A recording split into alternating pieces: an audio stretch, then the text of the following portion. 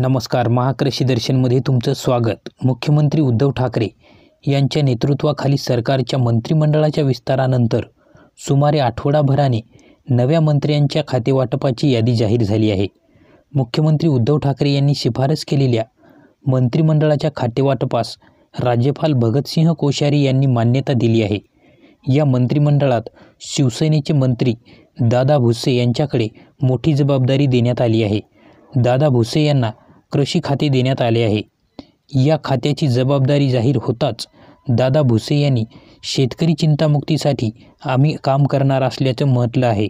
शिवसेना प्रमुख आणि मुख्यमंत्री उद्धव ठाकरे यांच्या ध्येय उद्दिष्टानुसार मी कृषी खात्याच्या माध्यमातून शेतकरी चिंतामुक्त करण्यासाठी काम करणार आहे.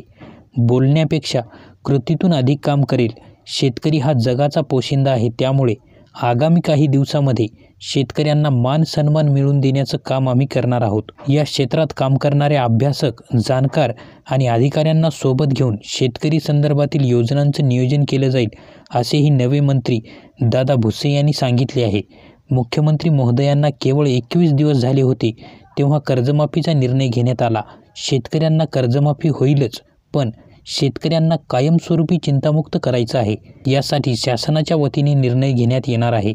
महात्मा ज्योतिराव फुले शेतकरी कर्जमाफी योजनेसंदर्भात उपसमिती नेमली असून आगामी पंधरा दिवसात उपसमिती अहवाल सादर करेल. त्यानंतर दोन लाखावरील कर्जदार शेतकरी नियमित कर्ज पुरवठा करणाऱ्या शेतकऱ्यांसाठीही हिताचा निर्णय घेतला जाईल.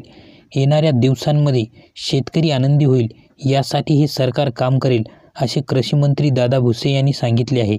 दादा भुसे यांनी दिलेल्या प्रतिक्रियेनुसार शेतकऱ्यांच्या हितासाठी हे सरकार जोमाने काम करणार असून मुख्यमंत्री उद्धव ठाकरे यांच्या घोषणेनुसार शेतकरी कर्जमुक्त करण्यासाठी मी काम करेल असेही मंत्री भुसे म्हणाले आहेत.